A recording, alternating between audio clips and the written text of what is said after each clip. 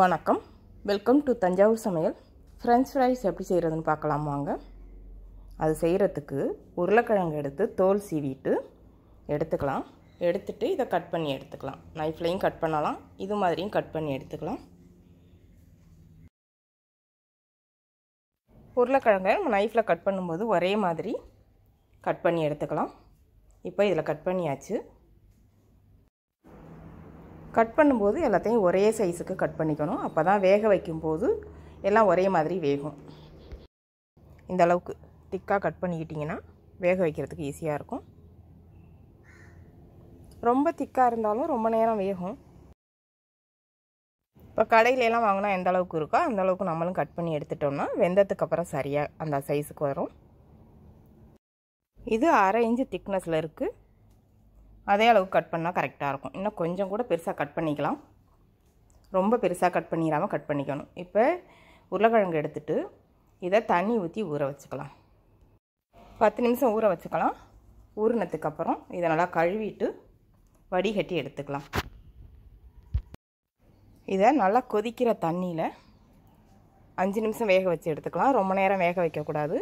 போட்டதுக்கப்புறம் தண்ணி கொதிக்கிறது நின்றும். திரும்பவும் தண்ணி இந்த மாதிரி கொதிக்கணும். கொதித்த பிறகு ஸ்டவ் ஆஃப் பண்ணிவிட்டு இதை எடுத்துடலாம். சுடு தண்ணியிலேருந்து வடிகட்டிட்டு இப்போ பச்சை தண்ணியில் போட்டுடலாம்.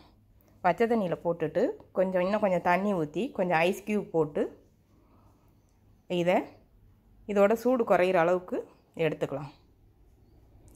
சூடாக இருந்துச்சுன்னா அதிகமாக வெந்துடும் பச்சை தண்ணியில் போட்டோம்னா வேகிறது நின்றும். அதிகம் வேகக்கூடாது.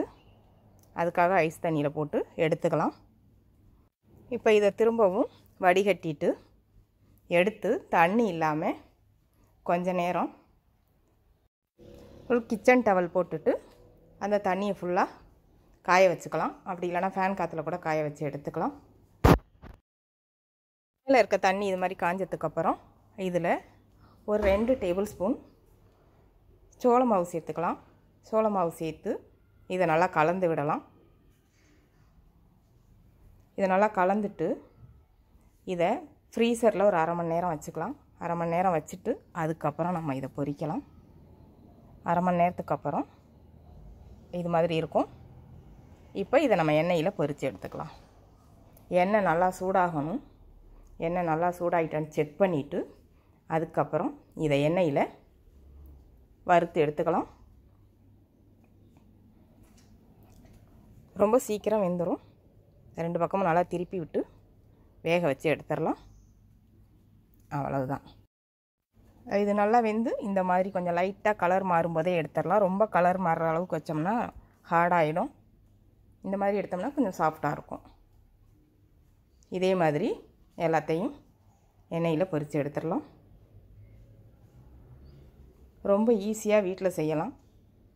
இது மாதிரி எடுத்துட்டு அதுக்கப்புறம் நம்ம இதில் உப்பு எதுவும் சேர்க்கலை. பொரிச்சதுக்கப்புறம் இது மேலே கொஞ்சம் உப்பு சேர்த்துக்கலாம். இப்படியே உப்பு மட்டும் சேர்த்துட்டு சாப்பிட்லாம்.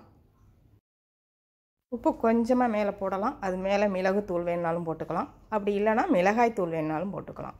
நான் இது கூட மிளகாய் தூள் சேர்க்குறேன். அப்படியே கலந்து விட்டு சாப்பிட வேண்டியதுதான். டேஸ்ட்டு கடையில் இருக்கிறத விட வீட்டில் செஞ்சது ரொம்ப நல்லாயிருக்கு நீங்களும் இதே மாதிரி வீட்டில் செஞ்சு பாருங்கள் இந்த வீடியோ பிடிச்சிருந்தா வீடியோவை ஷேர் பண்ணுங்கள் தஞ்சாவூர் சமையலுக்கு சப்ஸ்கிரைப் பண்ணுங்கள் தேங்க்யூ